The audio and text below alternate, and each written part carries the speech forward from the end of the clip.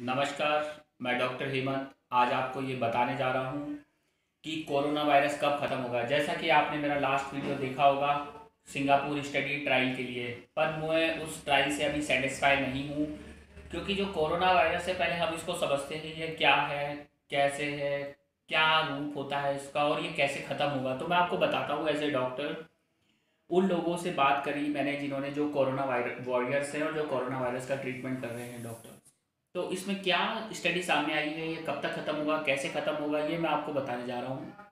तो पहले हम समझते हैं कोरोना वायरस क्या है। कोरोना वायरस क्या है कि ये एक ऐसा वायरस है जो हमारे इन्हलेशन रूट से जाता है, सांस लेने के मात्र से जाता है टचिंग से जा सकता है, छूने से, हमारी बॉडी में एंटर कर सकता है, जैसे मुँह में हाथ चला गया, नाक में चला गया, आँखों में चला गया, कान में डाल दिया तो ये बॉडी से टचिंग से भी फैल सकता है। अगर कोई पेशेंट कोरोना वायरस से संक्रमित है, उसने खांस दिया तो उसके जो एयर पार्टिकल्स हैं, वो हवा में ट्रेवल करेंगे कुछ समय तक। हम उस एयर पार्टिकल से गुजर गए तो हमें हो सकता है। तो इसमें हमें मास्क पहनना है। अब इसका जो मेन ट्रीटमेंट है, जो हम बात करें तो इसका ट्रीटमेंट क्या है? कोई ट्रीटमेंट नहीं है। आपकी बॉडी ही इसको ठीक कर सकती है।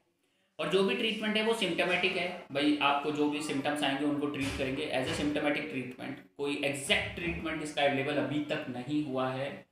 जैसा कि कुछ लोग सोच रहे हैं हाइड्रोक्सीक्लोरोक्विन एच एड्स की मेडिसिन और रेमडेजावीर इबोला में यूज़ होने वाली मेडिसिन ये सब हेल्प करेंगी। तो ये सिम्टोमेटिक ट्रीटमेंट है हंड्रेड परसेंट ट्रीटमेंट नहीं है। इस बात को ध्यान रखिए दूसरी चीज़ मैं आपको एक चीज़ और ये बताने जा रहा हूँ कि ये वायरस ख़त्म कैसे होगा। जैसे मैंने बताया कि ये वायरस ख़त्म होगा, पर कब ख़त्म होगा, किसी को नहीं पता। तो ये मैं बताता हूँ।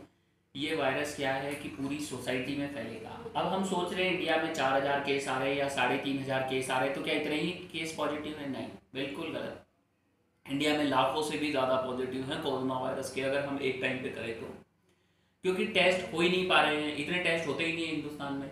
आप देखोगे छोटे छोटे देशों में इंडिया से ज़्यादा पर डे के टेस्ट हो रहे हैं, पर इंडिया में टेस्ट नहीं हो पा रहा है। तो इसलिए कम नंबर सामने आ पा रहे हैं। हर किसी का थोड़ी टेस्ट हो रहा है। और जिस स्पीड से इंडिया टेस्ट कर रहा है कोरोना वायरस के लिए, उस स्पीड से अगर करेगा तो उसको तेरह साल लग जाएँगे पूरी पॉपुलेशन का कोरोना टेस्ट करने के लिए। ठीक है? तो ये एक तो स्पीड कम है नंबर ऑफ़ टेस्ट कम हो रहे हैं।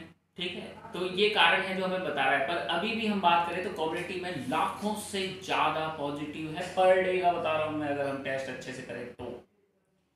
अब ये ख़त्म कब होगा तो मैं बता देता हूँ। इसका ख़त्म होने का कारण क्या है? जैसे कि कोरोना वायरस से कौन मर रहा है ज़्यादातर? नाइन्टी परसेंट लोग कौन मर रहे हैं कोरोना वायरस होने के बाद, ज़्यादा से ज़्यादा। इसका मोर्टेलिटी रेट हर देश का अलग अलग है, मरने का रेशो। सौ आदमी में कोई तीन आदमी मर रहे हैं किसी देश में, चार आदमी मर रहे हैं किसी देश में, दो आदमी मर रहे हैं किसी देश में, नौ आदमी मर रहे हैं, सौ पे। अलग अलग देश का अलग अलग क्राइटेरिया है। ठीक है, क्योंकि वहाँ का मेडिकल ट्रीटमेंट अलग है नंबर ऑफ़ पेशेंट ज़्यादा हैं तो कई तरीके की वेरिएशन है। अब हम फिर वही बात कर रहे थे कि ये खत्म कब होगा तो मैं आपको ये बता देता हूँ कि इसमें मर कौन रहा है, पहले तो आप ये समझ लीजिए, जैसे किसी को डायबिटीज़ है एंड स्टेज के लिए, किसी को सी ओ सीओपीडी है, सांस लेने की तकलीफ़ थी अस्थमा था, या किसी को ब्लड कैंसर था, या किसी को पहले से ही बहुत सारी बीमारियाँ हैं मल्टी ऑर्गन फेलियर है, कोई एल्डरली एज है जिसका इम्यून सिस्टम बहुत वीक है, कोई माल नरिष्ट है तो ऐसे आदमी को जब कोरोना वायरस होता है तो उसके मरने के चांसेस बहुत ज़्यादा हो जाते हैं। मोर्टिलिटी रेट बहुत बढ़ जाती है। अब मैं आपको बताता हूँ जो हेल्दी ह्यूमन है, जो यंग पेशेंट है यंग मेल है, जिसको कुछ भी नहीं है, कोई बीमारी नहीं है, चाहे यंग गर्ल हो, जिनको कुछ नहीं है तो आप देखेंगे कि जब हम हॉस्पिटल में कोरोना पेशेंट्स को रखते हैं, उस केस में जो हेल्दी एडल्ट है, उनको ना खांसी होती है, ना जुकाम होता है, ना बुखार होता है, कुछ नहीं होता। पंद्रह दिन उनको आइसोलेशन में रखते हैं और पंद्रह दिन के बाद वो घर जाते हैं, आराम से बिना किसी सिम्टम के।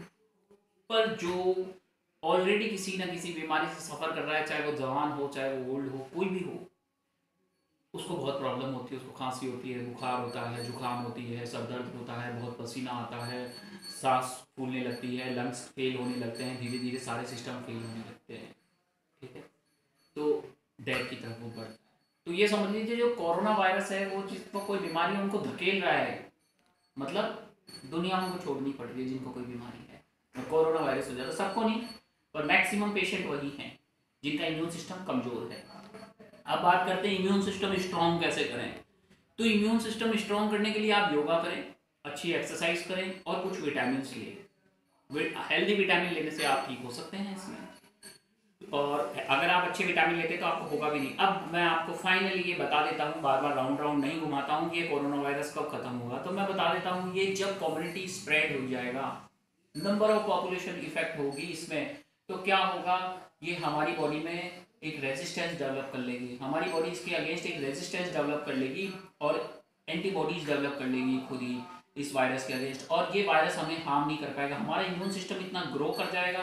वही इंडिविजुअल अर्थ पे या कंट्री में सर्वाइव करेंगे, जिनका इम्यून सिस्टम स्ट्रांग होगा, जिनका वेरी पुअर होगा, वो दुनिया छोड़ेंगे कोरोना वायरस से। आप बहुत सिम्टोमेटिक ट्रीटमेंट कर लें, फिर भी उनका बचना मुश्किल होता है, क्योंकि वो अदर डिज़ीज़ के साथ कोरोना उनको बहुत हार्मफुल है। पर जिनका इम्यून सिस्टम अच्छा है तो अब हम मान रहे हैं कि इंडिया में भी महीना, दो महीना के अंदर सभी लोगों में ये इम्यूनिटी डेवलप हो जाएगी कोरोना वायरस के अगेंस्ट कि वो सर्वाइव कर सकेंगे। और जब वैक्सीन आएगा तो वैक्सीन तो इसका एग्जैक्ट ट्रीटमेंट होगा ही, पर अभी आने में बहुत टाइम लगेगा। तो हम पहले तो ये भी समझ लें कि